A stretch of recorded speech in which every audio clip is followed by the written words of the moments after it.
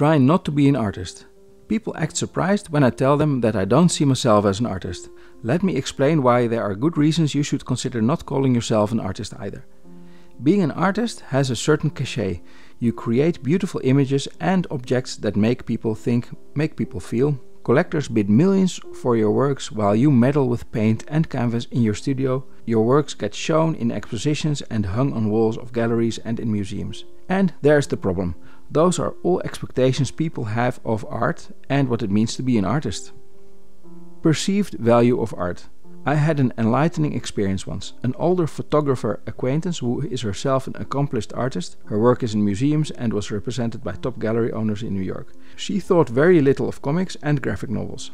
She is still from the generation that thinks comics are for children. Then one day she confided in me that, you know, comics and graphic novels could be valuable, they could be art too. If you framed comics pages and hung them on a wall, they could be. She had seen that. Think about that for a minute. She only considers a creation worth anything if you could hang it on a wall. And if you tore a page out of a comic and framed it and hung it on a wall, in her eyes, it could have more value than if you experienced the comic the way the creator had intended by, you know, reading the story. Comics are about conveying stories. A comic is a carefully designed composition of pages that, in sequence, tells a story. You don't rip out one page from it, that's like ripping apart a work of art. Would you dare to say to a novel writer, hey, your work can be art too, you know?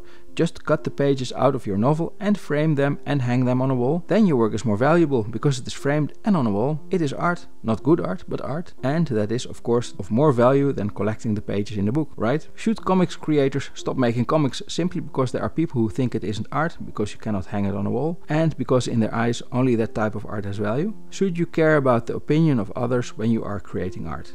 Because that is what you are doing if you are trying to create art. You are trying to abide by the so-called rules of art that other people came up with.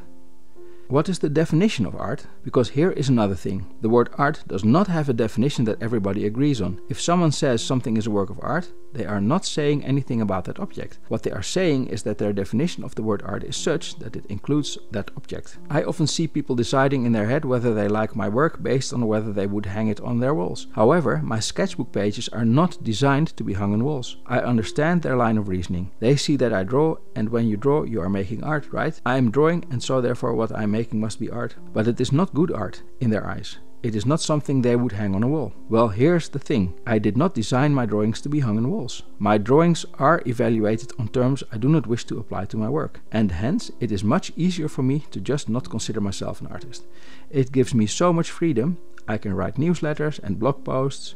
Does that make me a writer? I hope not, because then people start to consider that I'm not a good writer because my work isn't sold through proper publishing companies. Can I not program if I am an artist? Is programming creative? Or isn't it? Is it art? And more importantly, do these questions matter? If you put a label on what you do, you limit what you can do.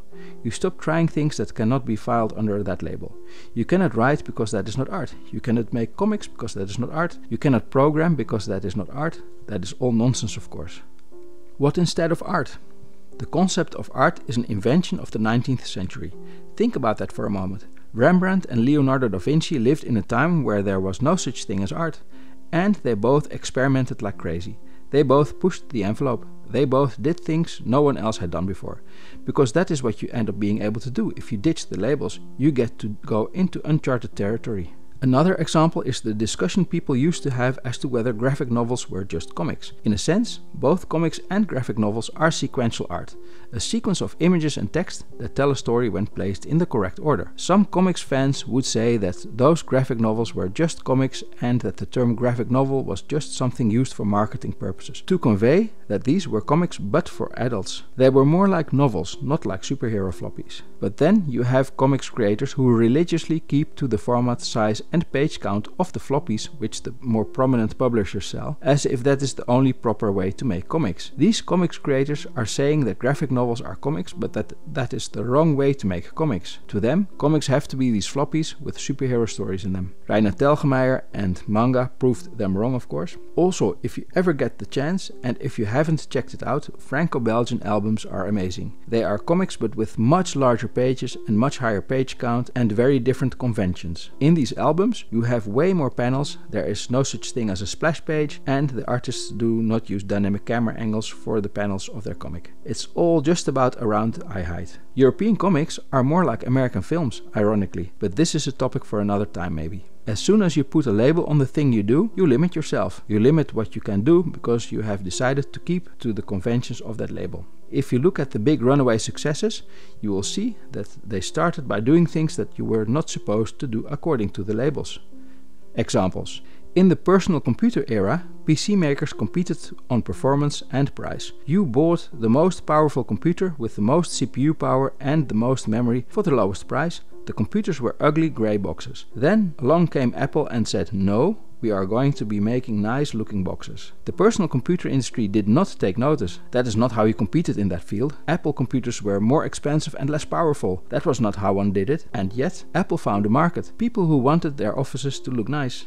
Creatives, for example. Your output is influenced by your intake and having a beautiful space around you helps. A gorgeous computer in the office becomes a necessity even if it's more expensive. It pays itself back when you produce better work. Before Tesla, there were electric cars, but they were ugly small things that couldn't drive fast and far, and they were generally uncool. Then Elon Musk came along and he showed the world that an electric car can, indeed, be a luxury item, a status symbol, a beautiful object, the fastest car on earth that can drive very far as well. When he started making these cars, the car manufacturing industry insiders probably said that is not how you make cars cars. The label car meant that you had to have fossil fuel guzzling motors under the hood. Musk must have thought, well, let's ditch those conventions and see where it leads us. There are many other examples like this, but you get the idea.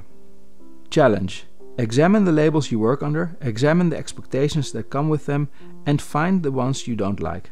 For example, I like to sketch with a ballpoint pen, but you are not supposed to make art with ballpoint pens because the ink isn't light fast. But wow, is it liberating when I just sketch with these. If you look around, there are so many limits we put on ourselves when we set to create things. Many comics creators, for example, still think in comic pages because they dream of one day printing their comic in paper form. So they share their pages online and frankly it tends to be hard to read. They also present it on clunky web pages and have user interfaces that pull you out of the story, having to search for the next page button. Webtoons showed that vertical scrolling comics could work well online. But why is no one trying that through a newsletter? An email is vertical scrolling. And why is no one experimenting with horizontal scrolling comics? It is such a natural fit. Your eye goes from left to right. In the old newspaper adventure strips, the word balloons were at the top and the talking heads below that, providing a natural way to read them from left to right. If you look around you, I am sure that you can think of things you would have liked to have done, but where you believed that you were not supposed to because you are an artist.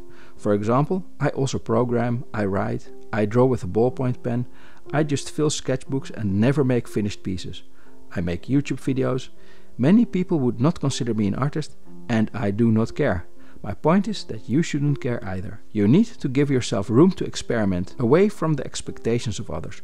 Look around you and examine your art creation process. Are there things that you prevented yourself from doing because artists are not supposed to do these things? Then experiment and try these things today. Be a Rembrandt, be a Leonardo da Vinci, be curious and explore, even if it leads you to do the things others don't consider art.